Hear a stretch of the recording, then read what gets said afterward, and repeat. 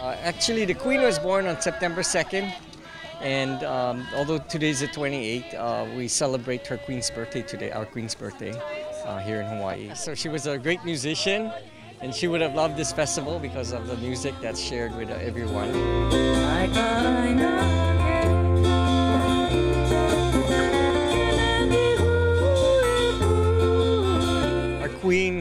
Was one who loved uh, Hawaiian children, and she set up this trust, the uh, Queen Liliuokalani Trust.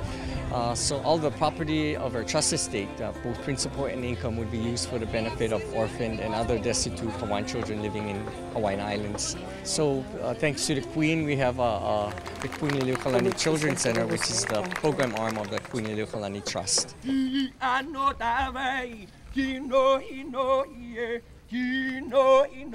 There's royal uh, royal court right here. This is the time of the makahiki, when our ali'i would travel from Ahupua'a to Ahupua'a, district to district, to meet their people, to talk story with their people, to share in, in games of fun, to collect their taxes, which was given in the form of food crops that were produced over the year.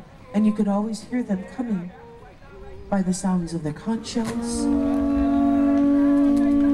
and by the sounds of the chanting of the genealogy of that particular ali'i.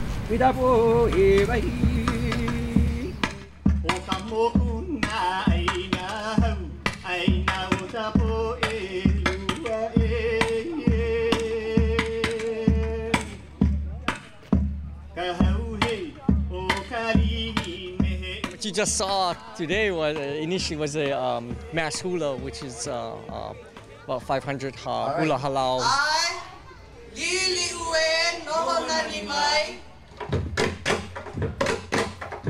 Lili u. Lili ue, noho nani mai. Loki no e, We danced to Eliliue, which is a, a chant about uh, Queen Liliuokalani, and uh, Aloha Wikula. We also had the flower drop uh, with the uh, Blue Hawaii helicopters and a lot of uh, orchids donated by uh, Resources of Hawaii and Greenpoint Nurseries.